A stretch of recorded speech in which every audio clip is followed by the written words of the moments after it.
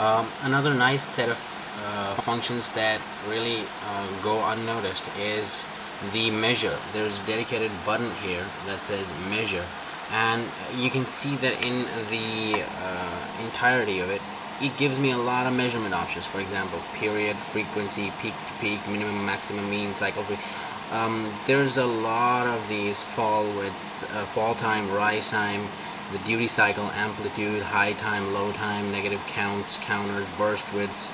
The, the this is a very long list and um, I really find find that these measurements are actually one of the things that um, you know make oscilloscopes uh, useful rather than just having one measurement like in the case of a multimeter or having two measurements like amplitude current and something like that again.